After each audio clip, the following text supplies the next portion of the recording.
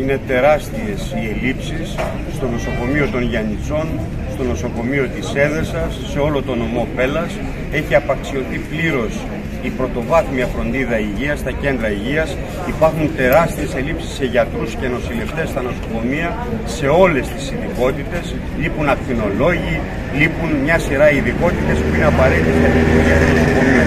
Το Κομμουνιστικό Κόμμα Ελλάδας μαζί με τους εργαζόμενους εδώ στο νομό Πέλας θα παλέψει και στη Βουλή και στους αγώνες για να γίνουν μαζικές προσλήψεις γιατρών και νοσηλευτών για να φτιαχτούν οι απαραίτητες υποδομές για να στελεχωθούν τα κέντρα υγείας.